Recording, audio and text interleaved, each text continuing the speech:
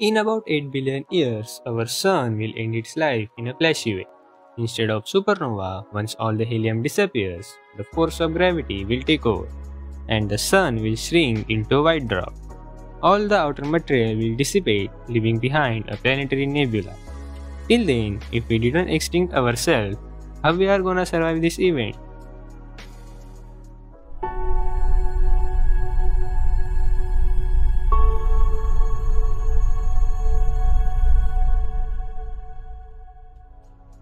First option is to become interstellar species.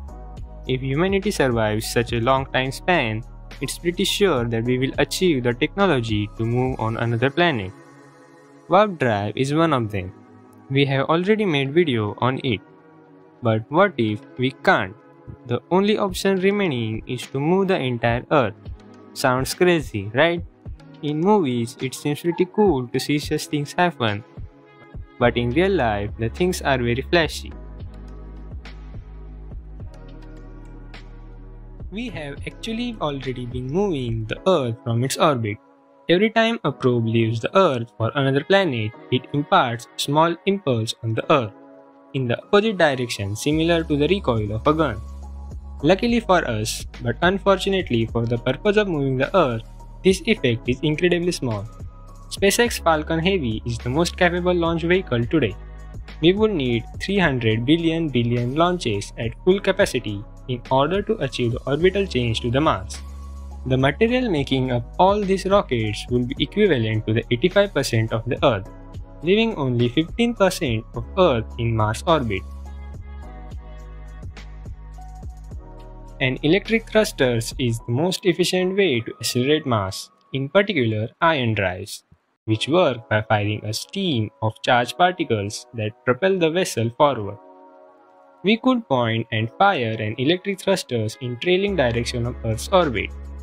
The oversized thrusters should be 1000 km above the sea level beyond the Earth's atmosphere, but solidly attached to the Earth with a rigid beam to transmit pushing force.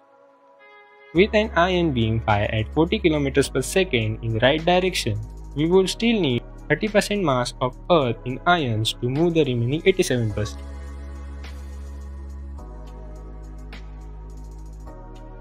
As light carries momentum but no mass, we may also be able to continuously power a focused light beam, such as laser. The required power will be collected from the sun and no earth mass will be consumed. But light can also be reflected directly from the sun to earth using a solar sail station next to the Earth. Researchers have shown that it would need a reflective disk 19 times bigger than the Earth's diameter to achieve the orbital change over a timescale of 1 billion years.